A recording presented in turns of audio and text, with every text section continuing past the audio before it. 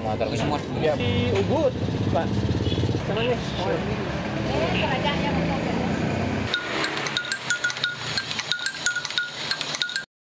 Here's my friend Alfred, uh, who I got to know three or four years. I don't know who this guy is. this is Alfred, and he just invited me to this Balinese uh, Hindu ceremony.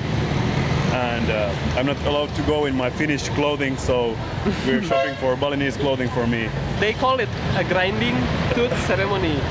Uh, it's a symbolism uh, when uh, Balinese Hindu uh, people get matured, they need to grind their six front tooth as a symbolism that they grind their sin away, their sins away. So it Grinding the sins away, Yeah, but they don't grind them anymore nowadays. Like No, they used to. They they used to. They used to really do it. if if it's in still like in the village where not so many tourists came in, they still do that. They Okay. still like literally grind the sticks Oh, of their front tooth. Like, So we're gonna be grinding tonight.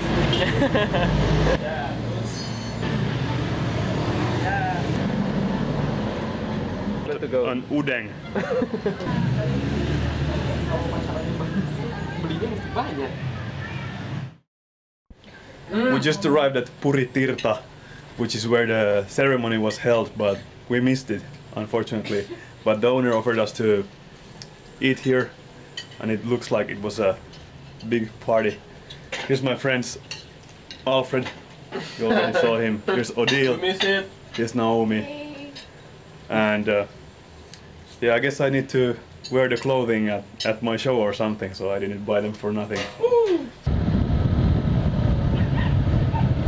I'm sound checking at Jazz Cafe in Ubud. Just made this beat.